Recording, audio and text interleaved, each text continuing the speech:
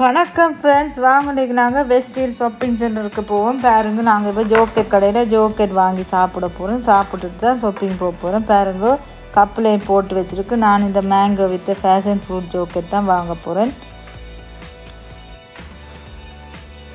பாருங்க இது சிமோல் சிமோலே இவ்வளோ பெருசாக இருக்குண்டு. இந்த ஃபேஷன் ஃப்ரூ ஃப்ரூட் சலாட்டு பாருங்க எல்லா பழமும் போட்டு வச்சுருக்கேன்னா இப்போ நான் வாங்கிட்டேன்.